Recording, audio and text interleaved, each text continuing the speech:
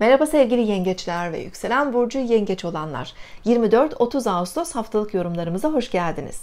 Sevgili yengeçler, ay hafta boyunca büyüyen fazla olacak. Ayın ışığı büyürken tabii ki yeni ayın enerjileri de hayatımıza şöyle biraz daha e, dahil olabilir, kendini hissettirebilir.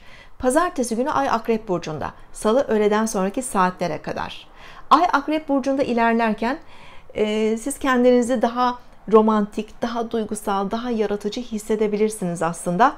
Ee, biraz daha sevdiğiniz kişilerle ilgili konular, çocuklarla ilgili konular, aşk hayatınız, e, buradaki duygusal beklentileriniz ön planda olabilir.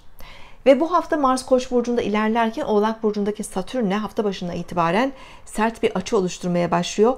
Mars Satürn açıları biraz e, zorlayıcı açılardandır. Siz de etki alan burçlardan olabilirsiniz. Bu anlamda lütfen daha temkinli olalım. Ee, özellikle ilişki dinamiklerinizde, üstlerle ilişkilerde, işte aile büyükleri olabilir, e, amiriniz, patronunuz olabilir, otorite figürleri olabilir. Bireysel isteklerimizle işte e, otoritenin kısıtlamaları, beklentileri arasında şöyle bir çatışmaların olabileceği, kendimizi biraz sıkışmış hissedebileceğimiz enerjiler var daha sağduyulu, daha sakin olmamız gerekiyor. Bir yandan da Mars Satürn kareleri kazalara çok yol açabilir. İşte e, e, vurma, çarpma, düşme gibi eklem e, zedelenmeleri, kemik kırılmaları, diş ağrıları işte olabilir. Kronik sorunlar, e, kronik migren ağrısı ya da herhangi bir böyle e, eklem ağrıları, diz ağrıları artabilir. E, bu anlamda bedenimizde belki çok fazla zorlamamak gerekiyor. Hani özellikle fiziksel aktivitelerde daha dikkat edelim. Kendimiz olduğu kadar eşimiz veya işte annemiz, babamız, yakınlarımızdaki kişilerle de bağlantılı e, bu tarz enerjiler söz konusu olabilir. Temkinli olmakta fayda var.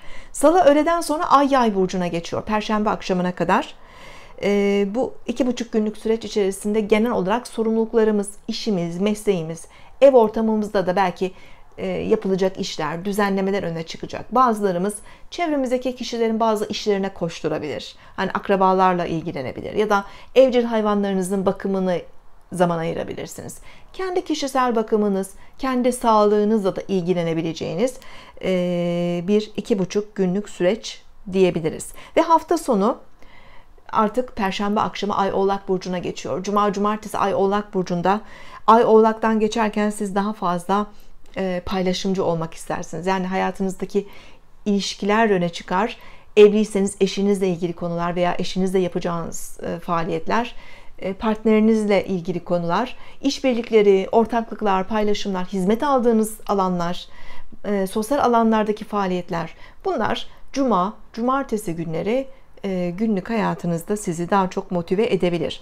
Ve hafta sonu Ay Kova burcunda bireysel enerjiler öne çıkarken biraz özgürleşmek istiyoruz. Biraz e, toplumsal konulara odaklanıyoruz ve 30 Ağustos Zafer Bayramımız tabii ki hepimizin de e, Zafer Bayramı kutlu olsun. Ay Kova'dan geçerken e, siz zaman zaman biraz parasal konuları düşünebilirsiniz. Bazı alışverişler de olabilir, harcamalar da olabilir. Belki yapmak istediğiniz harcamalarla da ilgili şöyle bir bütçenizi gözden geçirecek, geçireceksiniz. Muhasebe işleri yapacaksınız, planlamalar yapacaksınız sevgili yengeçler. Sağlıklı ve mutlu bir hafta dilerim. Hoşçakalın.